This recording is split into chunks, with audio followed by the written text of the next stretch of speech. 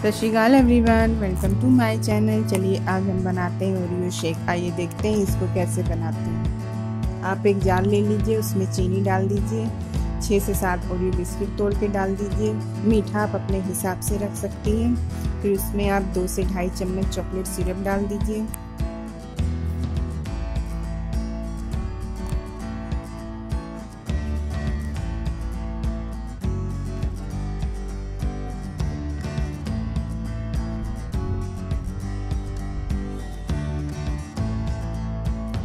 फिर आप इसमें ठंडा दूध डाल दीजिए।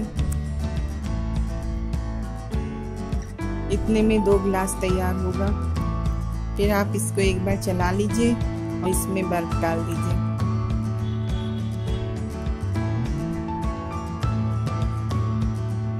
बर्फ़ डालकर उसको एक बार और चला लीजिए। अब आप गिलास ले लीजिए, उसमें चॉकलेट सिरप लगा दीजिए। अब ओरियो शेक को उसमें डाल दीजिए।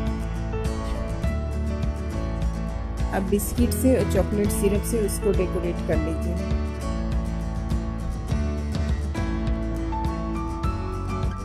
अब हमारा ओरियो शेक बनकर तैयार है।